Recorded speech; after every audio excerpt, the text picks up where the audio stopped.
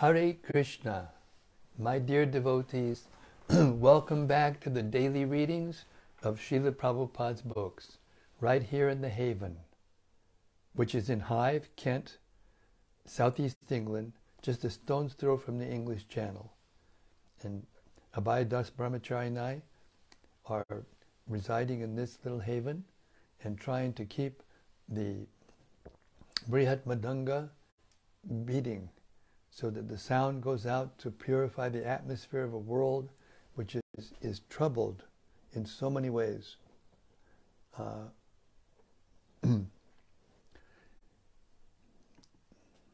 Srimad Bhagavata Mahima Stotram. We hope you're all well and safe and happy uh, in these troubled times. And we're happy to bring this uh, daily readings of the Srimad Bhagavatam cover to cover with reflections from various uh, devotees from around the world. It's a beautiful uh, contribution. And then archived on the YouTube channel for anyone who doesn't know. You can get all of these readings plus the reflections and comments.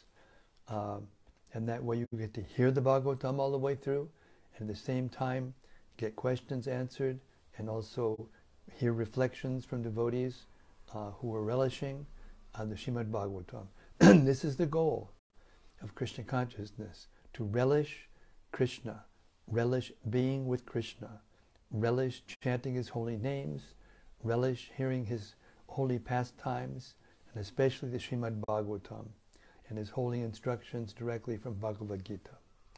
Srimad Bhagavatam Mahima Stotram by Srila Sanatana Goswami glorifies the Srimad Bhagavatam uh, very beautifully for what it is. It goes like this. Sarva Shastrabdi Piyusha Sarva Vedaika Satpala Sarva Siddhanta Ratnaja Sarva Lokaika Drikprada O nectar from the ocean of all scriptures, singular fruit of all the Vedas, rich mine of the precious gems of all conclusive truths, you are the only giver of sight to all the worlds. Sarva Bhagavata Prana Srimad Bhagavata Prabho Kali Dwanduditaditya Sri Krishna Parivartita O life air of all the Supreme Lord's devotees, O Master, Srimad Bhagavatam, you are the sun risen in the darkness of Kali. You are the exact image of Sri Krishna. Paramananda Pataya Prema Varshakshadayate Sarvada Sarvasevyaya Sri Krishnaya Namostume. I bow down to you who were supremely blissful to read. Your every syllable pours down a flood of prema. You can always be served by everyone. You are Sri Krishna himself. Madeka Bando Matsangin Madguru Mad Mahadana Mannisadaka Mad Bhagya Mad Ananda Namostute. My only friend, my constant companion, my spiritual master, my great wealth, my savior, my good fortune, my source of ecstasy. I bow down to you. Asadhu sadhu, sadhu tadayin, adini chochata kara, hanamuncha gadachin mam, premna rit gandayokspura. O bestower of saintliness to the unsaintly, O exalter of the most fallen, please never leave me, always appear in my heart and my voice with pure love. Om Namo Bhagavate Vasudevaya. Om Namo Bhagavate Vasudevaya. Om Namo Bhagavate Vasudevaya. Okay, we've reached the 17th chapter of the third canto of Srimad Bhagavatam. Victory of Hiranyaksha over all the directions of the universe. This is a big demon. Text 1.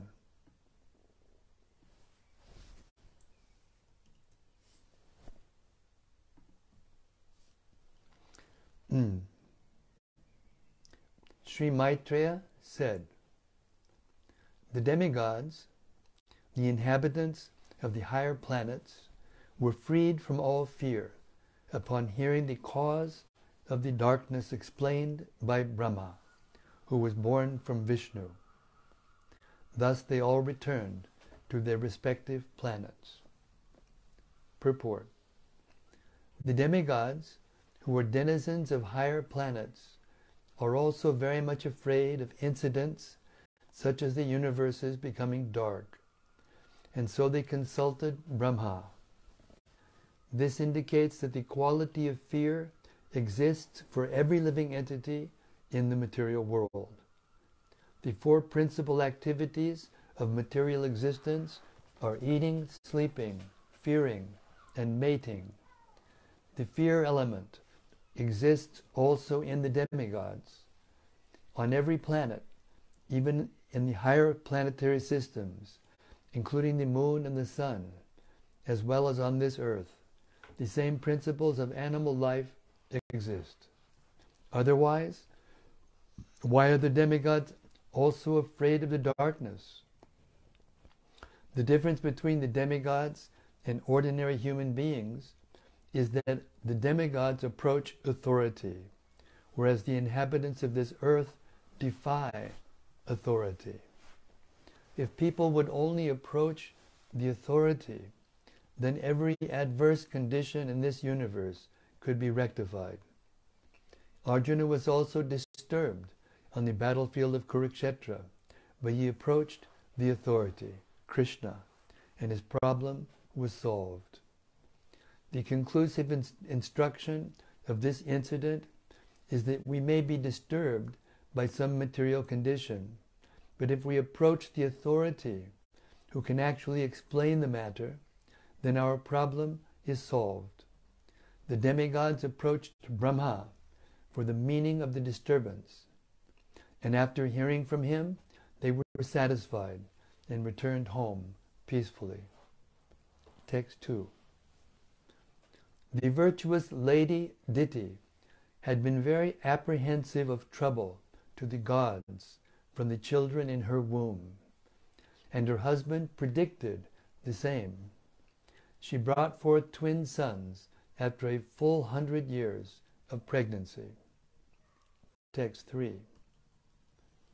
On the birth of the two demons, there were many natural disturbances, all very fearful and wonderful in the heavenly planets, the earthly planets, and in between them. Text 4. There were earthquakes along the mountains of the, on the earth, and it appeared that there was fire everywhere. Many inauspicious planets, like Saturn, appeared, along with comets, meteors, and thunderbolts. Purport When natural disturbances occur on a planet, one should understand that a demon must have taken birth there. In the present age, the number of demoniac people is increasing. Therefore, natural disturbances are also increasing. There is no doubt about this, as we can understand from the statements of Srimad Bhagavatam. Text 5.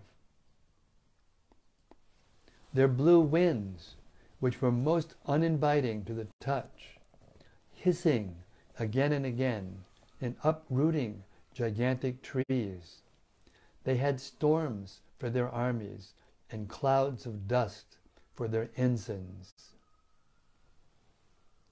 Purport When there are natural disturbances like blowing cyclones, too much heat or snowfall, and uprooting of trees by hurricanes, it is to be understood that the demoniac population is increasing, and so the natural disturbance is also taking place. There are many countries on the globe, even at the present moment, where all these disturbances are current. This is true all over the world. There is insufficient sunshine, and there are always clouds in the sky, snowfall, and severe cold. These assure that such places are inhabited by demoniac people who are accustomed to all kinds of forbidden, sinful activity. Text 6. The luminaries in the heavens were screened by masses of clouds, in which lightning sometimes flashed as though laughing. Darkness reigned everywhere, and nothing could be seen. Text 7. with the ocean, the ocean with its high waves wailed aloud as if stricken with sorrow, and there was a commotion among the creatures inhabiting the ocean. The rivers and lakes were also agitated, and, lotus, and lotuses withered. Text 8. Misty halos appeared around the sun and the moon during solar and lunar eclipses again and again. Claps of thunder were heard even without clouds, and sounds like those of rattling chariots emerged from the mountain caves. Little different from Vrindavan. Text 9. In the interior of the villages, she jackals yelled portentously, vomiting strong fire from their mouths, and jackals and owls also joined them with their cries. Text 10. Raising their necks, dogs cried here and there, now in the matter of singing, and now of wailing. Text 11. O Vidura, the asses ran hither and thither in herds, striking the earth with their hard hooves and wildly, wildly braying. Purport. Asses also feel very respectable as a race, and when they run in flocks hither and thither in so-called jollity, it is understood to be a bad sign for human society. Text 12. Frightened by the braying of the asses, birds flew shrieking from their nests, while cattle in the cowsheds, as well as in the woods, passed dung and urine. Text, text 13. Cows, terrified, yielded blood in place of milk. Cows, clouds rained pus.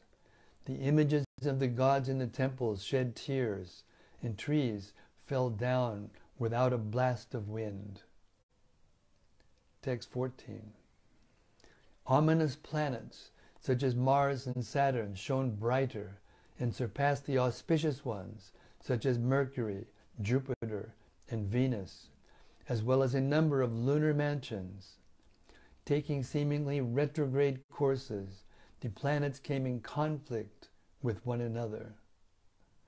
Purport The entire universe is moving under the three modes of material nature.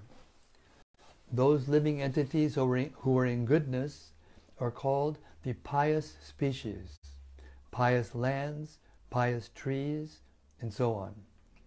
It is similar with the planets also. Many planets are considered pious, and others are considered impious. Saturn and Mars are considered impious. When the pious planets shine very brightly, it is an auspicious sign. But when the inauspicious planets shine very brightly, this is not a very good sign. Text 15. Marking these and many other omens of evil times, everyone but the four sage sons of Brahma, who were aware of the fall of Jai and Vijay, and of their birth as Diti sons, were seized with fear. They did not know the secrets of these portents and thought that the dissolution of the universe was at hand.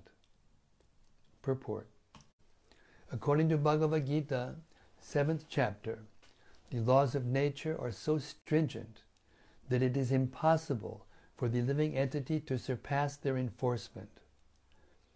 It is also explained that only those who are fully surrendered to Krishna in Krishna consciousness can be saved. We can learn from the description of the Srimad Bhagavatam that it is because of the birth of two great demons that there were so many natural disturbances. It is to be indirectly understood, as previously described, that when there are constant disturbances on the earth, that is an omen that some demoniac people have been born, or that the demoniac population has increased. In former days, there were only two demons, those born of Diti, yet there were so many disturbances. At the present day, especially in this age of Kali, these disturbances are always visible, which indicates that the demonic population has certainly increased. To check the increase of demoniac population, the Vedic civilization enacted so many rules and regulations of social life, the most important of which is the Garbhadana process for begetting good children. In the Bhagavad Gita, Arjuna informed Krishna that if there is unwanted population, Varnasankara, the entire world will appear to be hell. People who are very anxious for peace in the world, people are very anxious for peace in the world, but there are so many unwanted children born without the benefit of the Garbhadhana ceremony, just like the demons born from Diti.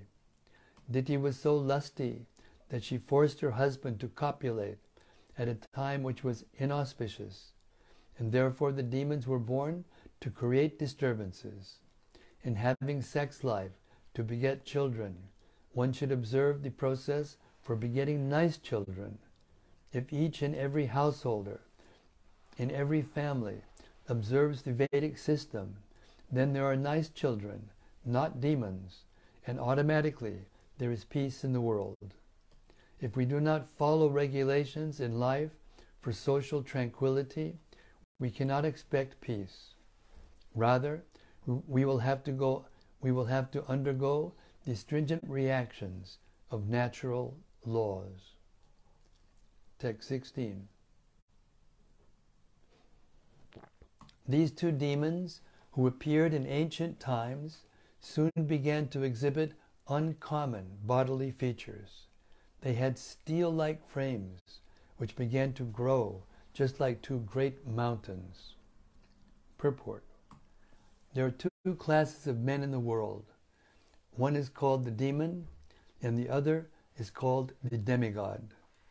The demigods concern themselves with the spiritual upliftment of human society, whereas the demons are concerned with physical and material upliftment.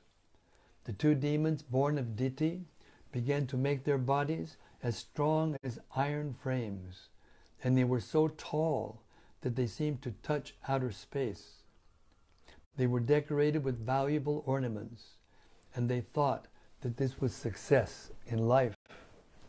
Originally, it was planned that Jai and Vijay, the two doorkeepers of Vaikuntha, were to take birth in, in this material world, where, by this curse of the sages, they were to play the part of always being angry with the Supreme Personality of Godhead. As demoniac persons, they became so angry that they were not concerned with the Supreme Personality of Godhead, but simply with physical comforts and physical upliftment. Text 17.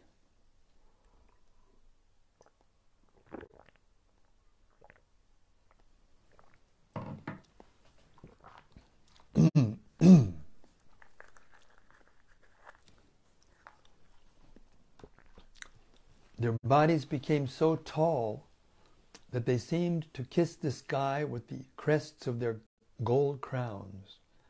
They blocked the view of all directions, and while walking, shook the earth at every step. Their arms were adorned with brilliant bracelets, and they stood as if covering the sun with their waists, which were bound with excellent and beautiful girdles. Purport In the demoniac way of civilization, people are interested in getting a body constructed in such a way that when they walk on the street, the, the earth will tremble, and when they stand, it will appear as if they cover the sun. And the vision of the four directions. If a race appears strong in body, their country is materially considered to be among the highly advanced na- nations of the world. Text 18. Kashyapa, Prajapati, the creator of the living entities, gave his twin sons their names. The one who was born first he named Hiranyaksha, and the one who was first conceived by Diti he named Hiranyakashipu. Purport There is an authoritative Vedic literature called Pinda Siddhi in which the scientific understanding of pregnancy is very nicely described.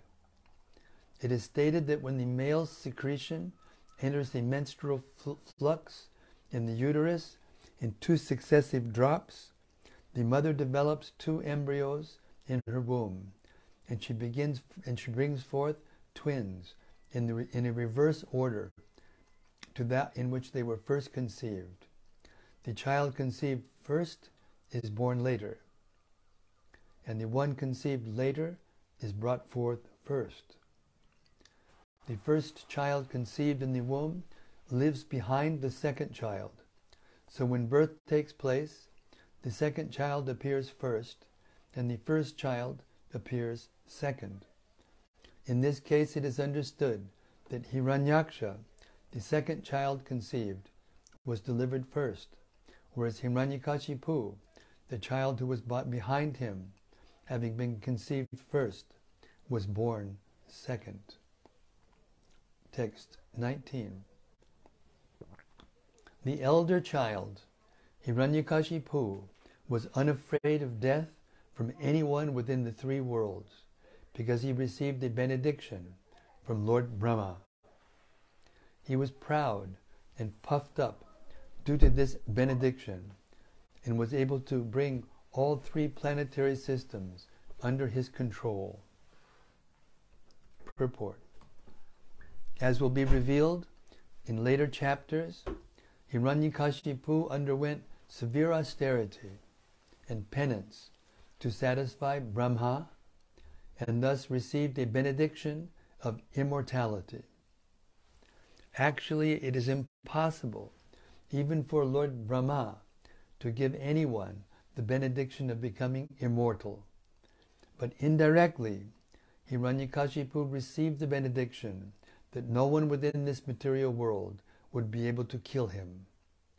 In other words, because he originally came from the abode of Vaikuntha, he was not to be killed by anyone within this material world. The Lord desired to appear himself to kill him. One may be very proud of his material advancement in knowledge, but he cannot be immune to the four principles of material existence, namely birth, death, old age, and disease. It was the Lord's plan to teach people that even Hiranyakashipu, who was so powerful and strongly built, could not live more than his destined duration of life. One may become as strong and puffed up as Hiranyakashipu and bring under his control all the three worlds, but there is no possibility of continuing um, life eternally or keeping the conquered booty forever. So many emperors have ascended to power and they are now lost in oblivion. That is the history of the world. And we have it going on right now today. Text 20. His younger brother, Hiranyaksha, was always ready to satisfy his elder brother by his activities. Hiranyaksha took a club on his shoulder and traveled all over the universe with fighting spirit just to satisfy Hiranyakashipu. Purport The demoniac spirit is to train all family members to exploit the resources of this universe for personal sense gratification, whereas the godly spirit is to engage everything in the service of the Lord. Hiranyakashipu was himself very powerful, and he made his younger brother, Hiranyaksha, powerful to assist him in fighting with everyone and lording it over material nature as long as possible. If possible, he wanted to rule the universe eternally. These are demonstrations of the spirit of the demoniac living entity. Text 21.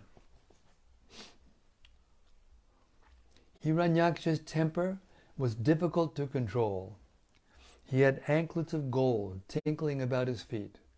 He was adorned with gigantic with a gigantic garland, and he rested his huge mace on one of his shoulders. Text 22. His mental and bodily strength, as well as the boon conferred upon him, had made him proud. He feared death at the hands of no one, and there was no checking him. The gods, therefore, were seized with fear at his very sight, and they hid themselves, even as snakes hide themselves for fear of Garuda.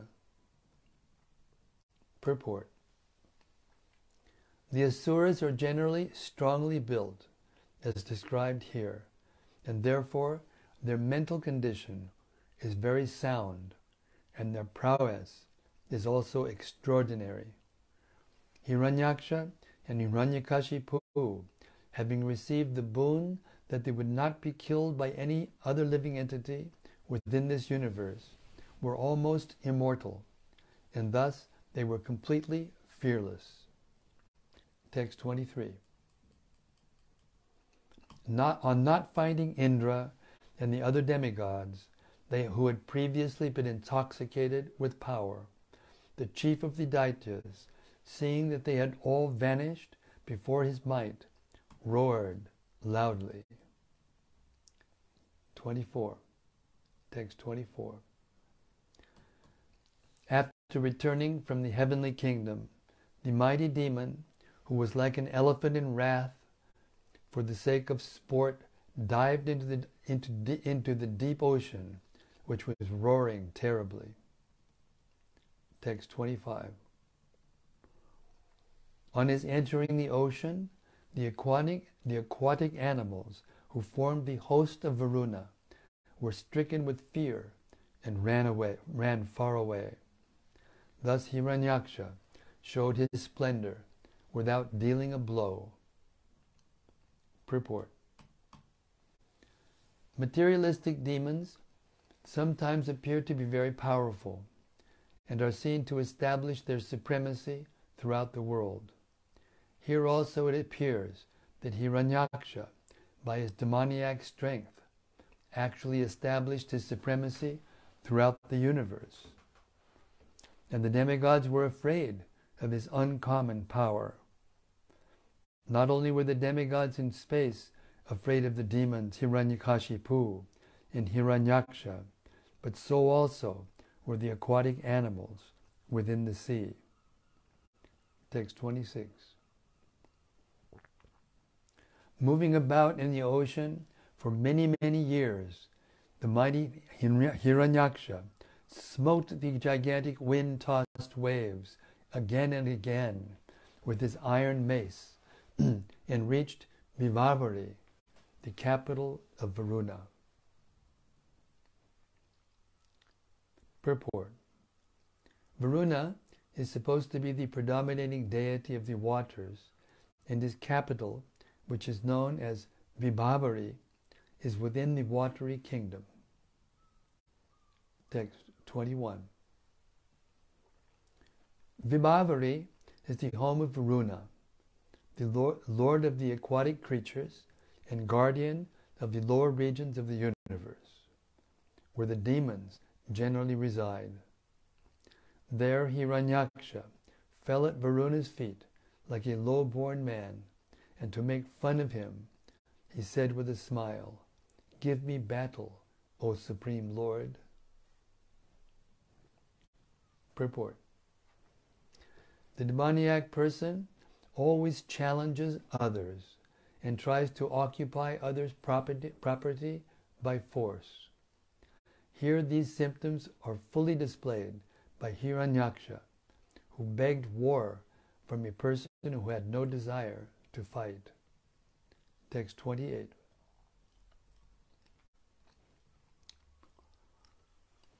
You are the guardian of an entire sphere and a ruler of wide fame. Having crushed the might of arrogant and conceited warriors, and having conquered all the Daityas and Danavas in the world, you once performed a Rajasuya sacrifice to the Lord. 29.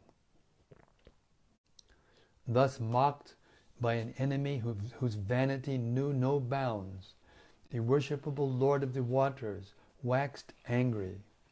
But by dint of his reason, he managed to curb the anger that had sprung up in him, and he replied, O dear one, we have now desisted from, war, from warfare, having grown too old to combat. Purport As we see, warmongering materialists always create fighting without reason. Sound familiar?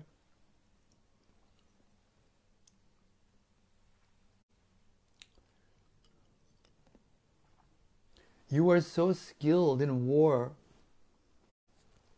that I do not see anyone, that I do not see anyone else but the most ancient person, Lord Vishnu, who can give satisfaction in battle to you. Therefore, O chief of the Asuras, approach him, whom even heroes like you mention with praise. Purport Aggressive, materialistic warriors are actually punished by the Supreme Lord for their policy of unnecessarily disturbing world peace. Therefore, Varuna advised Hiranyaksha that the right course to satisfy his fighting spirit would be to seek a fight with Vishnu. Text 31. Varuna continued, On reaching him, you will be rid of your pride at once and will lie down in the field of battle surrounded by dogs for eternal sleep.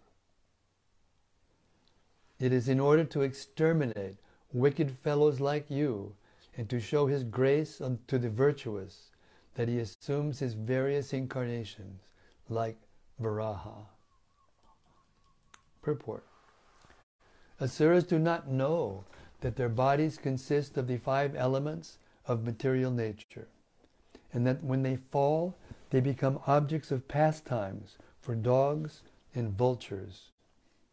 Varuna advised Hiranyaksha to meet Vishnu in his boar incarnation so that his hankering for aggressive war would be satisfied and his powerful body would be vanquished. Thus end the Bhaktivedanta purports of the third canto, 17th chapter of Srimad Bhagavatam, entitled Victory of Hiranyaksha over all the directions of the universe. All glories to Varuna for calling the bluff of Hiranyaksha. Hare Krishna. Okay, it's 8 o'clock, or almost 8 o'clock. I'm going to stop here. Our readings, more than a half hour. It's a little more than a half hour. And we're going to listen to the reflections of the assembled sages. Hare Krishna.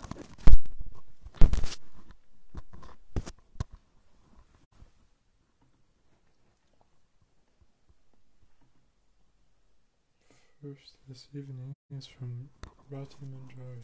Hare Krishna Rati. She says, Jai Guru Maharaj, the nectar vaults are opening. Yes, and let it flow.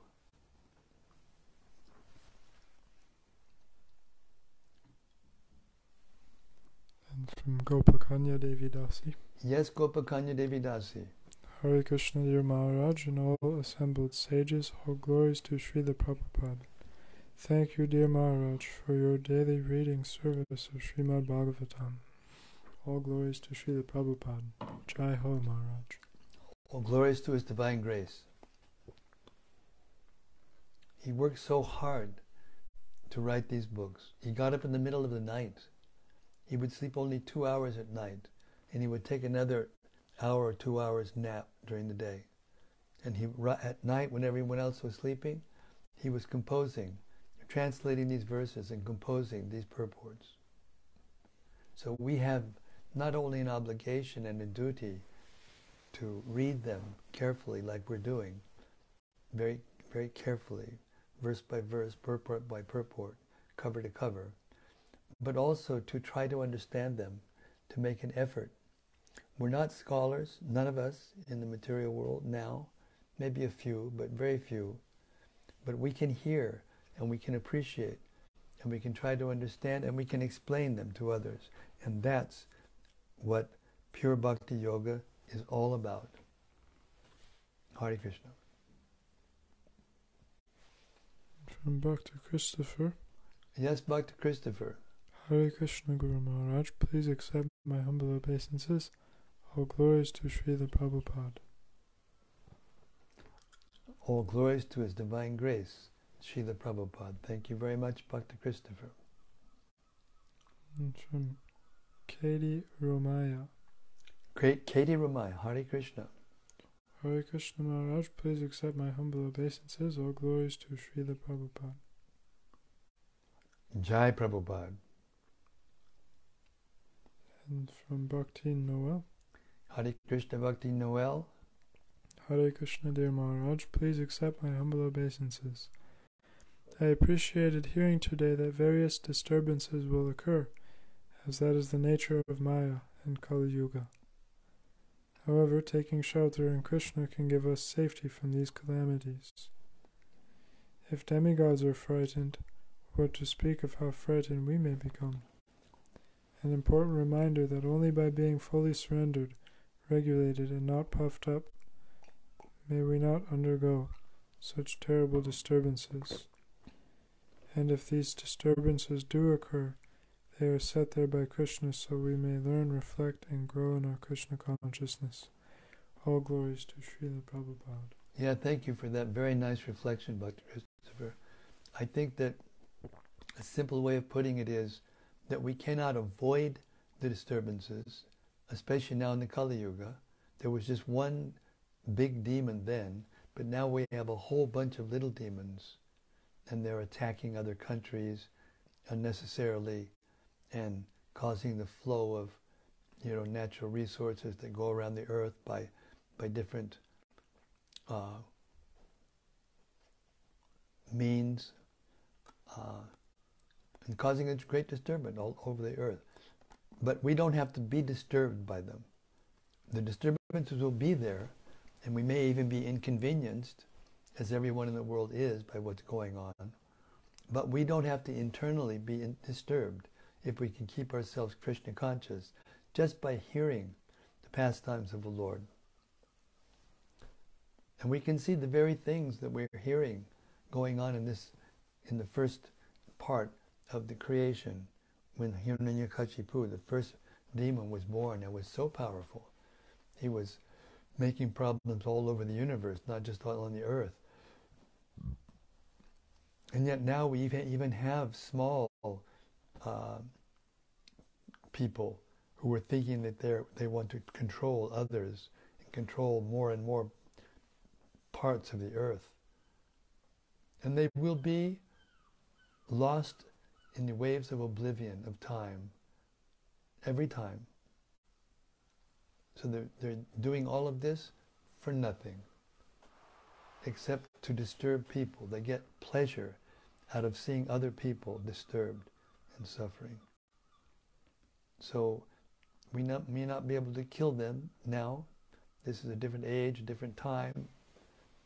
But we can keep ourselves undisturbed by hearing the Srimad Bhagavatam every day together. Hare Krishna.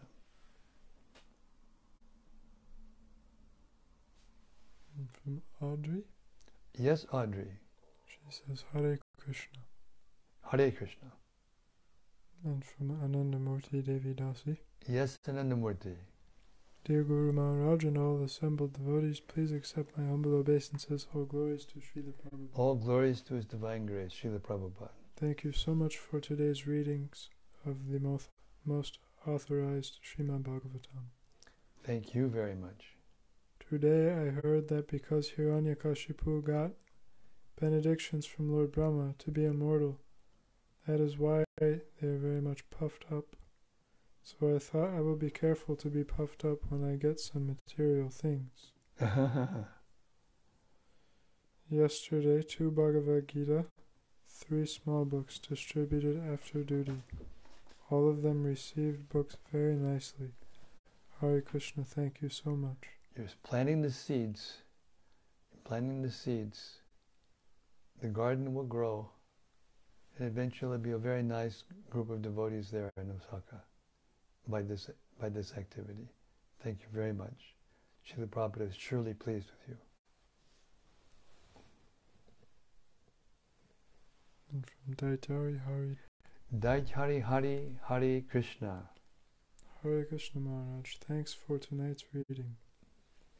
The point we heard tonight that one may become as powerful as Hiranyaksha and conquer the three worlds, but that there's never any question of keeping anything one gains eternally. I'm beginning to appreciate the fact that Prabhupada explains the material conception of life as madness. It is madness that people try to exploit things for selfish, short term purposes, without any desire to see the broader picture, which seems so easy to understand.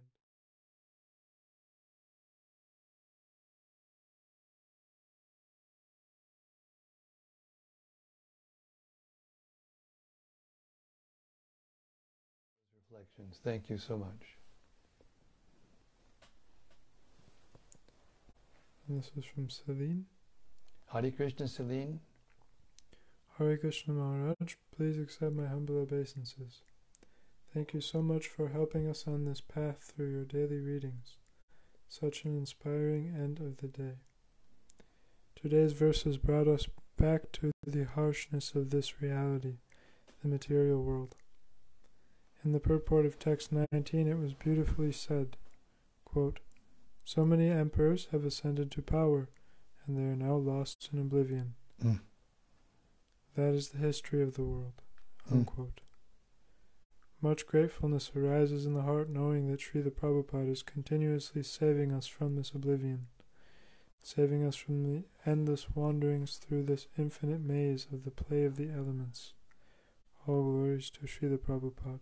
All Thank glory. you, Maharaj. All glories to Srila Prabhupada. Very nice reflection. Very nicely written, by the way. You should write your reflections. Hare Krishna. Inundate the magazines and news things of the world with your writing. Hare Krishna. And from Rati Manjari. Yes, Rati. Dear Guru Maharaj, please accept my respectful obeisances. All glories to Srila Prabhupada. All glories to His divine grace. Haribol.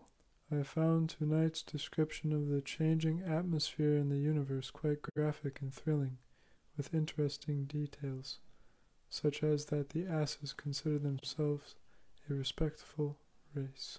Yes. I remember once when I was in Govardhan, a whole crowd of them came next door, which was which at that time was a vacant lot, and they started braying. It was powerful.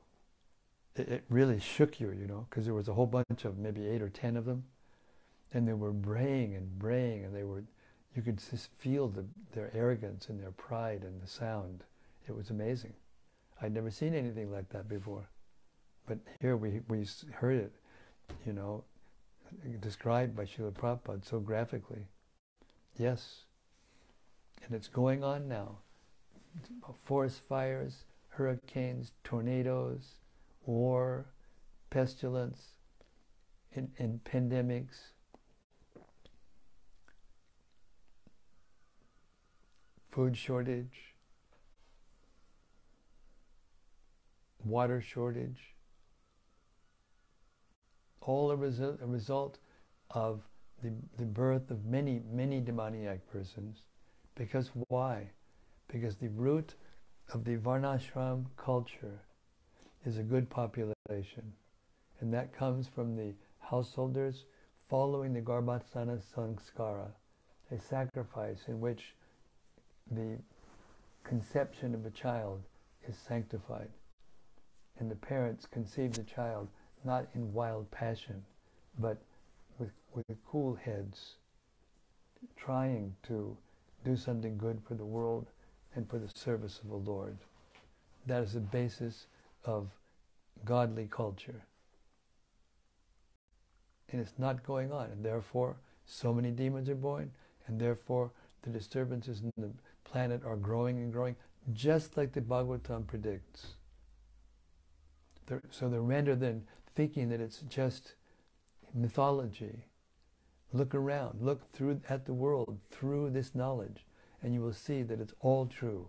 Every word of the Bhagavatam is true. And it points us in the direction away from demoniac activity and toward the devotional service, the pure devotional service of the Lord. That is the actual solution. So let us preach boldly and let us put this vibration out as it is without trying to water it down with conception it'll be easier for people to understand. We want to find the people who can understand and not fill up our movement with people who can understand. Hare Krishna.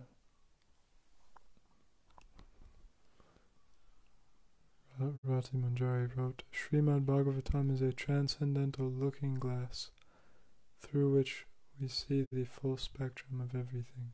Absolutely. Thank you, Rati. Nicely put. From Subarao Rajagopal. Yes, Subarao. Hare Krishna Maharaj, please accept my humble obeisances and all glories to Srila Prabhupada. Thank you for your Nityam Bhagavata Sevaya. Srila Prabhupada writes in 3.17.15, quote, According to Bhagavad Gita, 7th chapter, the laws of nature are so stringent that it is impossible for the living entities to surpass their enforcement. It is also explained that only those who are fully surrendered to Krishna in Krishna consciousness can be saved. Unquote. Krishna says in Bhagavad Gita 7.14, Daivi hesha gunamayi mama maya duratyaya mameva ye prapadyante mayam etam tarantite. This divine energy of mind consisting of the three modes of material nature is difficult to overcome but those who have surrendered unto me can easily cross beyond it. Thank you for your association and daily readings. Thank you very much for your comments, especially by using, by pointing out the Bhagavad Gita uh, verses that confirm your statements. This is elevated Krishna Gatha. Thank you so much. And more from Rati Manjari? Yes, Rati. Another really good point I found the importance of going to authority to explain what is the cause of the disturbances. If only this would happen more often, there would be much less suffering.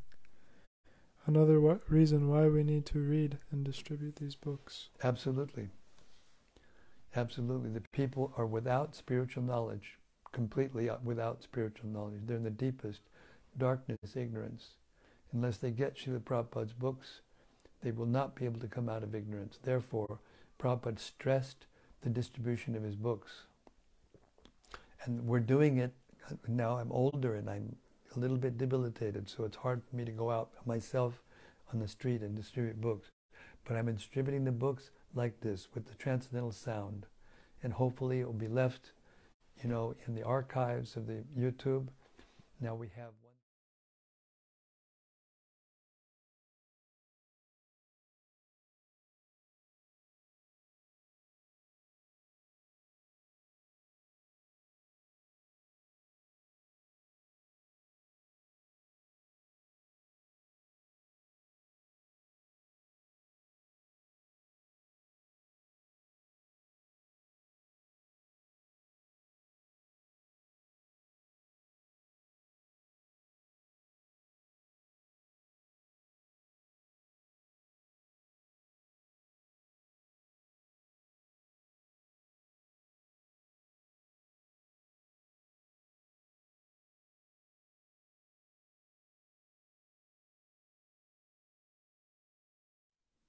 Srimad Bhagavatam ki jai. Samaveta Bhakta Vrinda ki jai. Gaur Premanandi Hari Hari Bol. See you tomorrow night. Same time, same place, same topic. How Hiranyakasha, how Hiranyaksha is going to meet his match. Hare Krishna. See you tomorrow. Hari Bol.